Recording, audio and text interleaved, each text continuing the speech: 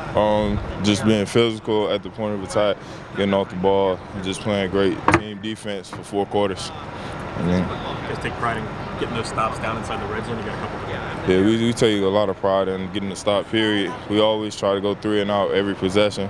Man, anything is possible on the football field, but that's what we live by. We live by three and out, stop and run, and get off the field on third down. Tyquan, was there ever a moment out there today when y'all felt dominant as a defense, when you felt like y'all were dominant? I mean, you- have you gotten that feeling at all the last several games?